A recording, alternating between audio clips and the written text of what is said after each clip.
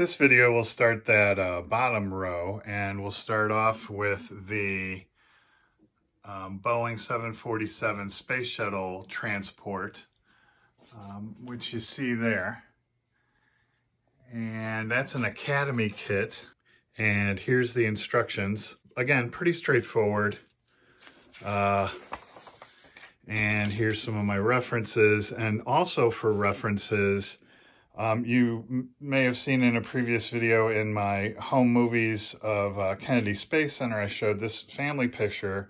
Well, on the flash drive that this picture came on, I also got these few pictures. They, they put like 15 pictures in there, and these were a few of them, so I also used these as references.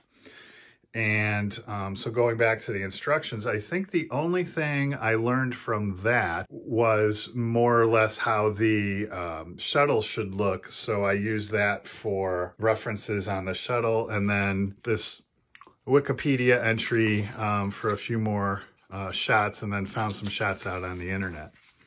Um, but it's a pretty cool kit, you know, fun to build.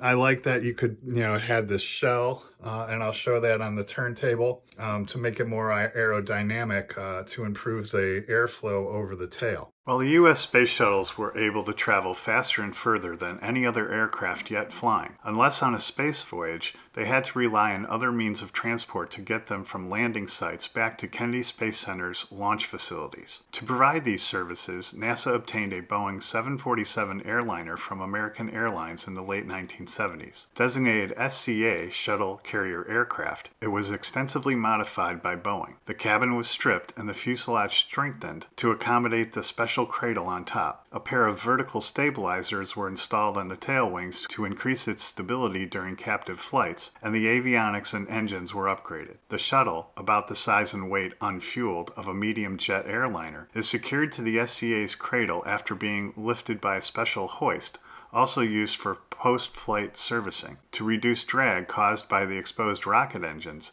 and improve airflow over the SCA's tail.